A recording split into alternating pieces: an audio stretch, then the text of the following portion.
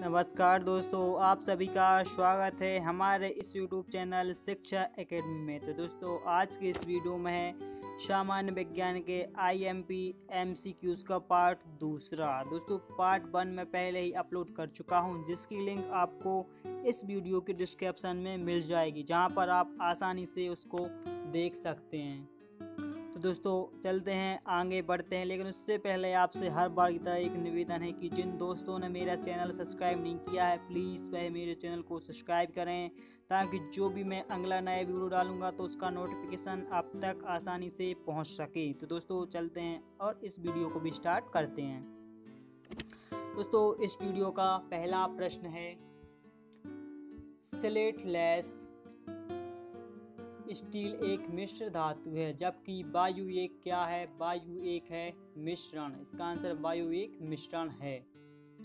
इसके बाद अगला प्रश्न है, फूलों के संवर्धन के विज्ञान को क्या क्या कहा जाता है? तो इसका आंसर है दोस्तों फ्लोरी कल्चर फ्लोरी कल्चर कहा जाता है फूलों के अध्ययन के लिए। इसके बाद अगला प्रश्न, परमाणु नाप किए, परमाणु नाविक के अवयव कौन कौन से होते हैं? परमाणु नाभिक के अवयव होते हैं दोस्तों, प्रोटॉन और न्यूट्रॉन। इसके बाद अगला प्रश्न प्रकाश संश्लेषण के दौरान पैदा होने वाली ऑक्सीजन का स्रोत क्या है? तो इसका आंसर है जल। इसके बाद अगला प्रश्न है, कोई पिंड तब तक तब तक ब्रह्मावस्था में ही बना रहेगा जब तक उस पर कोई बाह्य बल कार्य नहीं करता। यह कथन किसका है? दोस्तों, यह कथन है न्यूटन का। इसके बाद अगला प्रश्न है, मोनाजाइट मोनाजाइट किसका आयस्कर है? मोनाजाइट किसका आयस्कर है? आयस्क है। तो इसका आंसर है थोरो, थोरियम थोरियम का आयस्कर है। इसके बाद अगला प्रश्न है कार्नेलाइट किसका खनिज है? कार्नेलाइट किसका खनिज है? तो इसका आंसर है मैग्नीशियम का। उसके बाद अगला प्रश्न, माचिस की तीली के एक सिरे पर लगा मसाला निम्नलिखित मिश्रण का, निम्नलिखित का मिश्रण है या किसका मिश्रण है? तो इसका आंसर है लाल फार, फास्फोरस का, लाल फास्फोरस का है और गंधक का। लाल फास्फोरस और गंधक का मिश्रण होता है, जो माजस की तीली में लगा रहता है। और इसके बाद अगला प्रश्न, बाटल फॉल इंजेक्शन की कुल कार्बनिक लिमिट कितनी होती है? तो इसका आंसर है 500 से 500 पीपीबी से। इसके इसके बाद अगला प्रश्न है बिल्ली में कितने गुण सूत्र पाए जाते हैं? बिल्ली में कितने गुण सूत्र पाए जाते हैं? तो इसका आंसर है बिल्ली में कुल अड़तीस गुण सूत्र पाए जाते हैं। इसके बाद अगला प्रश्न, सामान्य ट्यूबलाइट में कौन सी गैस होती है? दोस्तों, सामान्य ट्यूबलाइट में होती है, आर्गन के साथ मरकरी भी होती है। इसके बाद अगला प्रश्न B C G B C जी का टीका किस बीमारी से बचाव के लिए लगाया जाता है? तो इसका आंसर है क्षय रोग के। इसके बाद अगला प्रश्न, पौधे का कौन सा भाग श्वासन क्रिया करता है? कौन सा भाग करता है? पत्ती।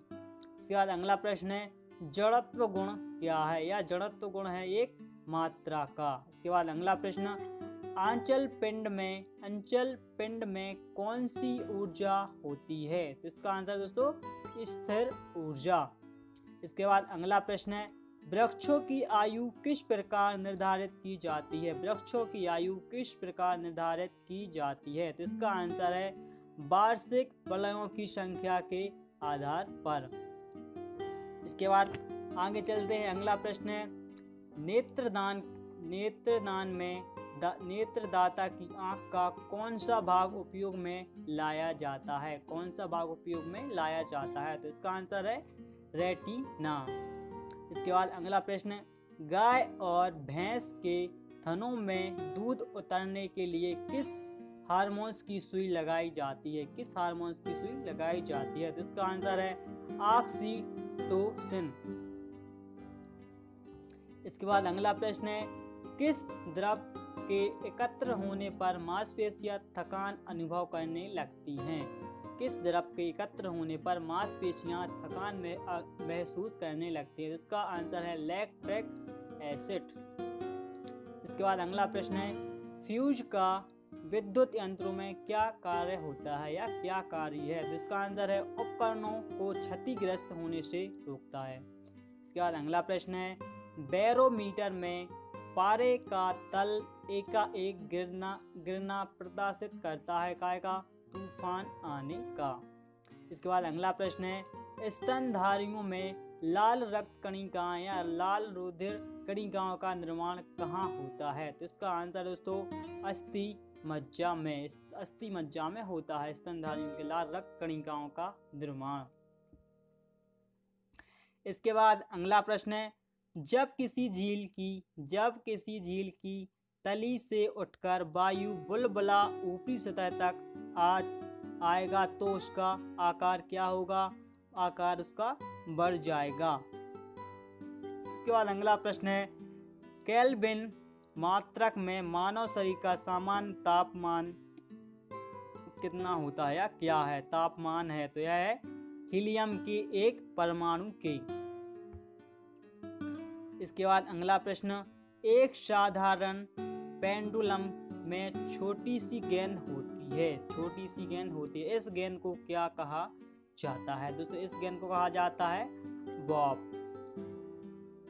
इसके बाद अगली प्रश्न है, वॉशिंग मशीन का कार्य किस सिद्धांत पर आधारित है? तो वॉशिंग मशीन का कार्य है अप केंद्रिक बल पर आधारित है। चलिए दोस्तों, आगे बढ़ते हैं। अगला प्रश्न है, जेट इंजन किस सिद्धांत पर कार्य करता है? जेट इंजन इंजन, किस सिद्धांत पर कार्य करता है? तो इसका आंसर है रेखिक संवेग संरक्षण सिद्धांत पर। इसके बाद अगला प्रश्न है, चिकित्सा शास्त्र चिकित्सा शास्त्र का जनक किसे माना जाता है? चिकित्सा छात्र का, ए, शास्त्र का जनक माना जाता है हिप्पोकेट्स को। इसके बाद अगला प्रश्न है फूलों के अध्ययन को क्या कहा जाता है? फूलों के अध्ययन को क्या कहा जाता है? तो इसका आंसर दोस्तों, एंथोलॉजी। इसके बाद अगला प्रश्न है, भारतीय वनस्पतिक सर्वेक्षण का मुख्यालय कहाँ स्थित है? भारतीय वनस्पतिक सर्वेक्षण का मुख्यालय कहाँ स्थित है? तो इसका आंसर है कोलकाता में। इसके बाद अगला प्रश्न है, जीवाणु की खोज सर्वप्रथम किसने की थी? जीवाणु की खोज सर्वप्रथम किसने की थी? तो इसका आंसर है ल्यूबेन हॉक ने। इसके बाद अगला प्रश्न, भोजन की विषक्ता उत्पन्न होती है। विषक्ता उत्पन्न होती है। इसका आंसर है क्लोस्टिडियम्स बेटुलिनस द्वारा। इसके बाद अगला प्रश्न, दूध के दही के रूप में जमने का कारण क्या है? तो इसका आंसर है लैक्टोबैसिलस। इसके बाद अगला प्रश्न है।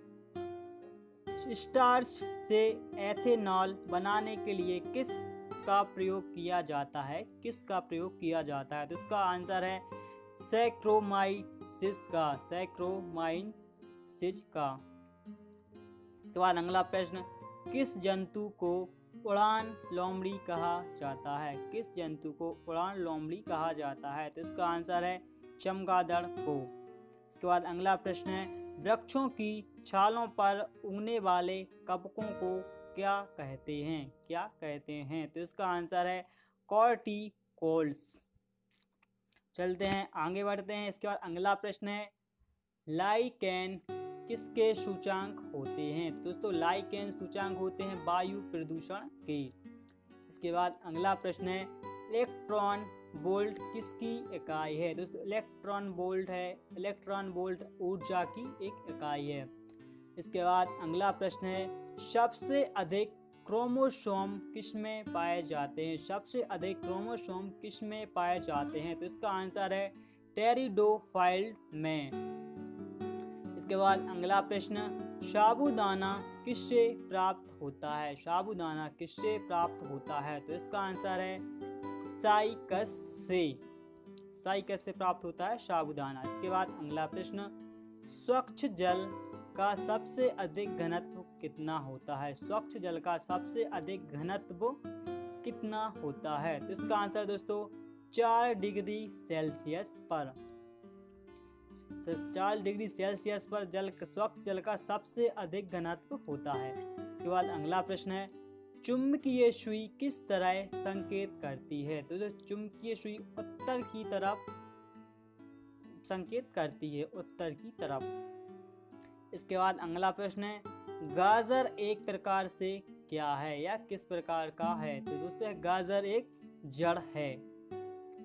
इसके बाद अगला प्रश्न है, स्टील में होता है या स्टील में क्या होता है? तो स्टील में होता है दोस्तों F E plus C plus M N चलिए दोस्तों, आगे बढ़ते हैं। इसके बाद अगला प्रश्न है, क्लेरो फ्लास्टो क्लेरोफ्लास्टो के भीतर क्लोरोफिल कहाँ पाया जाता है? तो इसका आंसर है दोस्तों, ग्रेना में। इसके बाद अगला प्रश्न है, सूरज की ऊष्मा धरती पर किस प्रक्रिया द्वारा पहुँचती है? किस प्रक्रिया द्वारा पहुँचती है? इसका आंसर है, बी किरण द्वारा, बी किरण द्वारा पहुँचती है। इसके बाद अगला प्रश्न है, शनिवार किसका आयस्क है? शनिवार किसका आयस्क है? तो इसका आंसर है एच जी का। इसके बाद अगला प्रश्न है, ऑक्सीजन रेट रक्त हृदय से शरीर में, शरीर के भिन्न हिस्सों में ले जाने का कार्य कौन करता है? तो इसका आंसर दोस्तों कौन करता है? धमनियों द्वारा पूरे शरीर में रक्त का संचार होता है। तो इसके बाद अगला प्रश्न है बे प्रजातियाँ बे प्रजातियाँ जो पृथ्वी पर लुप्त होने की कगार पर हैं, पृथ्वी पर लुप्त होने की कगार पर हैं, क्या कह लाती हैं? तो इसका आंसर है लुप्त प्राय प्रजातियाँ, लुप्त प्राय प्रजातियाँ। उसके बाद अगला प्रश्न है और इस वीडियो का लास्ट प्रश्न है, हल्दी के पौधे का खाने योग्य हिस्सा कौन सा होता है? हल्दी के पौधे का खाने योग्य हिस्सा होता है प्रकंद। प्रकंद होता है। तो दोस्तों, यह वीडियो यहीं पर समाप्त होता है। यदि आपको यह वीडियो पसंद आया हो तो प्लीज़ लाइक करें, अपने दोस्तों के साथ शेयर करें और दोस्तों सब्सक्राइब करना ना भूलें। तो दोस्तों, चलते हैं, मिलते हैं अगले नेक्स्ट वीडियो में। तब तक के लिए दोस्तों, बाय।